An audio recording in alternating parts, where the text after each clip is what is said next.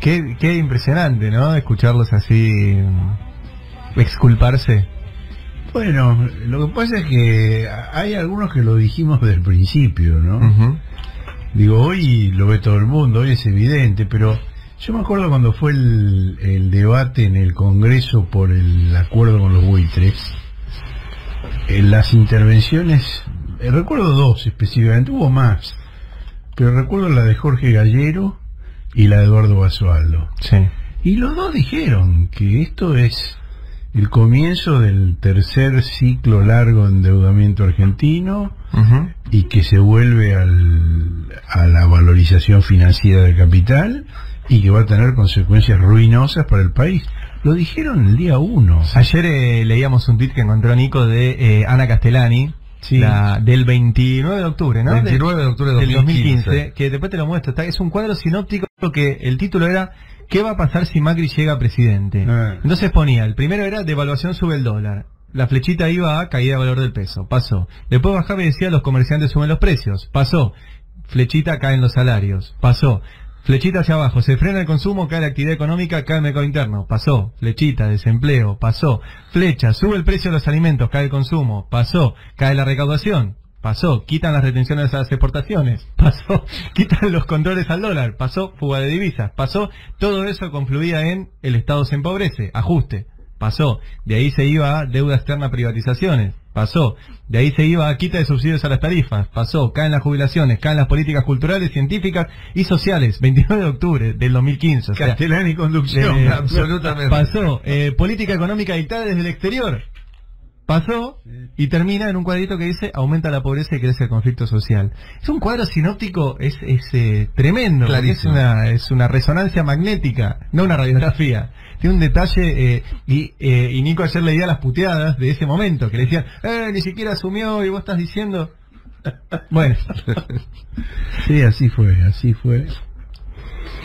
Y lamentablemente no hubo demasiada gente que quisiera escuchar esas cosas. Eh, y se cumplió punto por punto todas las previsiones de gente como Castellani, como Basualdo, como Gallero. Y, y con un agravante respecto a otras experiencias eh, democráticas neoliberales, que es que cuando asumieron, tuvieron una concentración de poder que creo que no tuvo ningún otro gobierno, teniendo en cuenta que tenían la nación, la ciudad, la provincia, el apoyo de los principales medios, el apoyo de las principales potencias de Occidente, el apoyo, la mayor toma de deuda de la historia. Digo, una, una serie de conjunciones que no sé si se habían dado en otro momento de la historia argentina, se alinearan todas a favor de un presidente entrante como era Macri en ese momento, eh, que tenía eso, una, un, nada, la oportunidad de, de hacer algo muy distinto a, lo que terminó pasando. Creo que él nunca quiso hacer algo muy distinto a lo que terminó pasando. Yo lamento que no esté entre nosotros este Jorge Sábato, que podría escribir una historia, completar las cosas que ya escribió en el pasado sobre la burguesía y el liberalismo argentino, ¿no? porque es la misma burguesía que hizo quebrar al Banco de Inglaterra hace más de un siglo, este que incurrió en el mayor default soberano de la historia, que obtuvo el mayor préstamo de la historia del Fondo Monetario Internacional y que tropieza, nos hace tropezar demasiada- demasiadas veces con la misma piedra, ¿no? Sí. Vamos a, escuchar, si les parece, sobre esto que venimos hablando. Ya escuchamos algunos audios durante el día, pero ayer estuvo Mauricio Macri en Coninagro. Si hace un rato Sí. hablamos con el presidente y de Coninagro, no con el presidente Macri, que, eh, pero... mm, Y no- Anisotti. y Anisoto. Que ojalá nos atienda, ¿no? Algún Sí, siempre bienvenido. Pero le preguntamos varias cosas. Él dijo que están dispuestos a, eh, a pensar en pagar más retenciones siempre y cuando los otros sectores de la economía también aporten y siempre y cuando se reduzca el gasto eh, público. Pero dijo eso y además insistió con que eh, habría que ponerle un límite a la liquidación Mm. de la de la soja. Pero bueno, el plazo del, de, de liquidación. exactamente. Y bueno, ayer estuvo Macri ahí, vamos a escuchar un fragmento. Da la impresión de que le cambiaron la medicación. A Macri. Estaba muy tranquilo, muy sedado. A ver. recorrer este proceso electoral en forma madura, en forma constructiva, por eso establecí eh, mi primer llamado el lunes a los, todos los candidatos, que sé que varios estuvieron acá, para decirles, bueno, trabajemos juntos, que este debate sea constructivo y ayudemos a bajar la percepción de riesgo que se ha generado a partir de el mal resultado que tuvo el gobierno en la elección. ¿no? Finalmente, hay que entender que la Argentina siempre ha tenido, en las últimas décadas, un problema de credibilidad en el mundo. Bueno, ahí estaba Mauricio Macri, siempre hablando de las últimas décadas. Eh, y a la noche, eh, ya para hacer el combo de los audios, eh, estuvo Pichetto en la tele, que parece que es el nuevo vocero del gobierno, y también Pichetto le tiró la culpa a la oposición. dejemos que esto ocurra, que, que, se desarrolle el escenario mucho más grave todavía. Después vamos a venir nosotros a arreglarlo. la lógica, la lógica del 2001 bueno, Pichetto dice que lo que quiere hacer la oposición es la lógica del 2001. ¿Sí? Y eh, cierro con esto y ahora lo analizamos con Horacio. El ministro de Producción y Trabajo, Dante Sica, Recordemos que ayer, mientras estaba Guido Sanleri reunido con Mauricio Macri, se disparó el dólar y tuvo que salir el Banco Central a eh, poner más de 300 millones de dólares para frenarlo e igual terminó en 58,66 y subió un peso y monedas. Bueno, escuchen lo que dice el ministro de Producción y Trabajo, Dante Sica este periodo, que no es un periodo de transición, porque hasta ahora nosotros tenemos la competencia y la autoridad porque somos gobierno, pero hoy la estabilidad te diría que es un compromiso que tienen que resolverlo, no solo el gobierno, sino también participar los distintos partidos políticos. Vos fíjate, una declaración de ayer de, Fernández le costó al sistema 300 millones de dólares, porque hoy el riesgo país volvió a ir a 2.000, el tipo de cambio se movió. Bueno, es un relato muy estructurado, con muy pocos voceros, porque no hay demasiados kamikazes, pero es básicamente falso, porque la fuga comenzó inmediatamente en cuanto asumieron, en cuanto tenían todo ese poder este acumulado. Eh, y después ellos ganaron la elección del 17. Ganaron la elección de 17 y en abril, mayo tuvieron una fuga brutal y una devaluación brutal. De modo que no es este Alberto Fernández y el resultado de las pasos que motiva esto.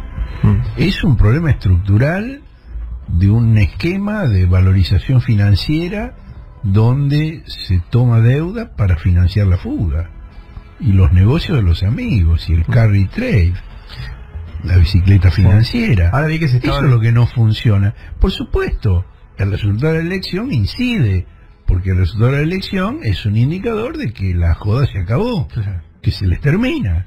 Obvio, digo, sería ingenuo negar que el resultado de la elección tiene influencia en lo que está pasando en los eh, en los negocios financieros, en las mesas de dinero, claro que tiene influencia, pero ¿por qué? Mm porque el esquema este, insostenible que Macri montó se acaba. Pero si Macri se quedara, igual se acaba el esquema. Mm. Lo que pasa es que hay mucha gente que no se daría cuenta tan rápido de que se acaba. Mm. Es insostenible, no digo, ¿cuántos este semestres tiene que tener un año para que ocurra alguna de las cosas este, que, que Macri prometía?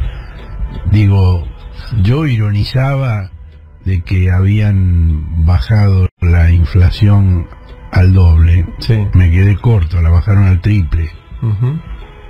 Y que habían eh, aumentado la inversión a la mitad, me quedé corto. No es a la mitad, es a una, tercera parte o un 20%. Entonces, todo les funcionó distinto de lo que ellos decían que les iba a funcionar. Mira, ahí está en, la pantalla de uno de los televisores que tenemos encendido aquí, las líneas paralelas de deuda y fuga. Del informe de cifra. ¿Qué es el informe de cifra? Que yo ya he publicado tres veces esa, esa curva porque es muy, muy, muy impactante. Desde que asumió Macri hasta hace unos meses, en la fuga y el endeudamiento, no solo con el fondo, el endeudamiento, la deuda pública en general, en moneda extranjera, son líneas paralelas. Una es de 107 mil millones de dólares y la otra de 106 mil millones de dólares. La diferencia es un vuelto. Sí, sí. Entonces, ese esquema era- eh, se sabía desde el día uno de que era insostenible. Ahora, ¿por qué el gobierno se empecinó en sostener algo que tanta gente bien fundamentada sabía que era insostenible? Mm. Porque estaban haciendo negocios. Ahí sí se robaron un PBI. Porque había- mil millones de dólares. Sí, claro. Más de un PBI. Claro, no. No, no, pero ahí son 500. Ahora, ahora, menos. Vos tenían y en- 300. 350. De 300 y 500 según Sí, la de- cotización del dólar. Es muy arbitrario. Bueno, por es- Sí, eso, claro. Me- me- medir en PBI, con- convengamos que es un poco heterodoxo. Pero está muy claro de que están mucho más cerca de estos que cualquier otro sí, de, 100 de fumarse un PBI, ¿no? 100 mil millones de dólares. Eh, Ah, para nada. para nada, para, Para nada, nada. para financiar la fuga. Este, Este, todo lo que se podría hacer con esa y, y guita. están haciendo los negocios, es decir, el blanqueo es uno de los grandes negocios. Hmm. Digo, ¿por qué la, la mala leche de Macri con Sergio Massa? Eso lo ha contado Massa. Es decir, eh, Macri lo llama desde Colombia, donde estaba en, en visita oficial, lo llama por teléfono para pedirle que eh, apruebe la inclusión de todos los familiares en el blanqueo. Y Massa le dice que no. Hmm. A partir de ahí Se enoja. no, se, se odian, Sí. se odian recíprocamente. Y después los incluye por decreto. No, bueno, eso es otra cosa. Ese es un tema que se está distorsionado en la... Es igual que la operación de las nalgas de Manzano y que la frase de Menem si hubiera dicho lo que iba a hacer no me votaban. Hmm. Ni Manzano se operó las nalgas, ni Menem dijo si hubiera dicho lo que iba a hacer no me iban a votar. El que dijo Mm. eso fue Guillermo Vilas. Sí. en un programa de Grondona, dijo, qué vivo Menem, si hubiera dicho lo que iba a hacer no lo hubieran votado. Menem nunca lo dijo. Hmm. Y el decreto no incluyó a los familiares en el blanco. No, no, le- le- eso está incluido antes. El decreto incluyó la ley. Sí. Sí, sí, sí, sí. El decreto lo que hace es fijar un plazo para la posibilidad de blanqueo de los que quedaron dentro de la ley. Hmm. Es decir, no, no amplía el universo de lo que pueden blanquear, pero pone una excepción, es decir, padres, madres, cónyuges e hijos no pueden blanquear, Sí. salvo que puedan demostrar, Que eso es lo que dice el decreto, que habían incorporado a su patrimonio esos bienes antes de que Mauricio llegara a la presidencia. Cosa que, digamos, con los estudios de abogados de las guaridas fiscales es muy fácil de dibujar, Sí, obviamente. Sí. Eh, 9 de la mañana, 12 minutos, estamos aquí con Horacio Berbisky. Hoy que es 28 de agosto, ¿sí? Y un Mm. día como hoy, Horacio, ¿quién nació? Ni idea. Ah, te agarré, El papá de Flor. El papá de Flor. No. el diario Clarín. Feliz cumpleaños. Hoy es el cumpleaños, además de Walter, de eh, el diario Clarín. Mira vos. Eh, así que bueno, quería compartir un poco esa historia, arrancando por el tráiler de la serie Clarín, un invento argentino.